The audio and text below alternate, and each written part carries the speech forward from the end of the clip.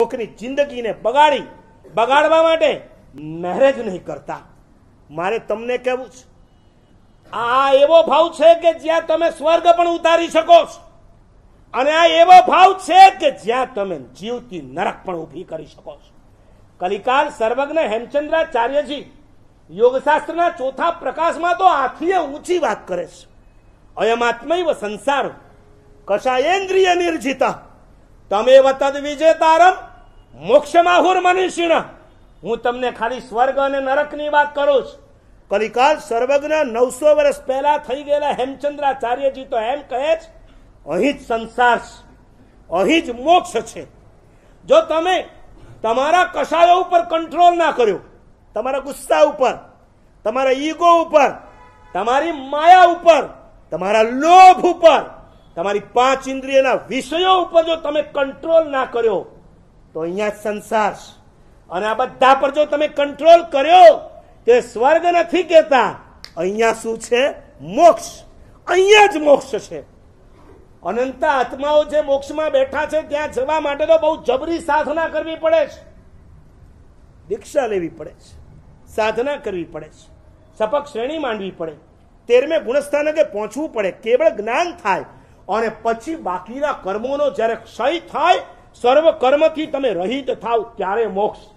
ઉપરનો મોક્ષ મેળવવા માટે તો બહુ લાંબી ભૂમિકા છે. આ ભૂમાં તો એ મળી પણ ના શકે. એના માટે તો તમારે આવતા ભૂમાં ક્યાં જવું પડે?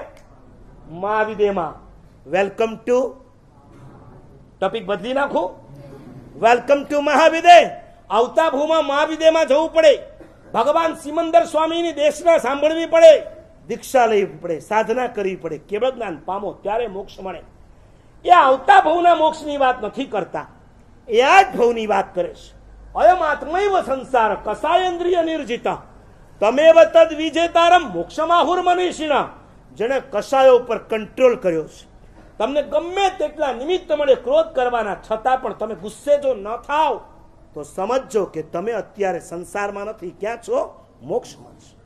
તમને ગમે તેટલી કોઈ સળી કરે, તમારું અપમાન કરે તમારા ઈગોને હર્ટ કરવાના પ્રયત્ન કરે. છતાં પણ તમે તમારા ઈગોને હર્ટ ન થવા દો. તમે એના દ્વારા ગુસ્સે ન થાવ, તો અહીંયા જ તમે મોક્ષમાં છો. માયા ન કરો, પ્રપંચ ના કરો, કપટ ના કરો, છલબાજી ના કરો. પૈસાને મેળવવા માટે તમે કાળા ધોળા ના કરો. જીએસટી ને બંધ કરાવવા માટે તમે રેલીઓ ના કાઢો. આ જીએસટી અહીંયા જ પલ્લે પડે. આમને કાંઈ પલ્લે ના પડે. હમણાં જ મેં એક ઠેકાણે એક જોક્સ કીધો તો મેં કીધું કે વાઈફે પોતાના પતિને પૂછ્યું, તમે મને કેટલો પ્રેમ કરો છો? ઓલો કે, બોતેર ટકા. તો ઓલી કે મેરેજ પહેલા તો તમે સો ટકા કરતા હતા. હવે બોતેર ટકા કેમ? એ કે, તું લક્ઝરિયસ આઇટમ છે ને, મોદીએ લક્ઝરિયસ આઇટમ પર અઠ્યાવીસ ટકા જીએસટી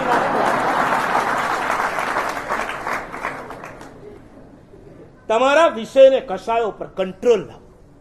અને આ કંટ્રોલ તમને મોક્ષમાં બહુ ઝડપથી પહોંચાડશે. ઇવન આ અંદર તમે જાણે મોક્ષમાં છો એવી અનુભૂતિ થશે. ઘણી શ્રાવિકાઓ કહેતી હોય છે અમને, અમારા એ ભગવાન જેવા છે.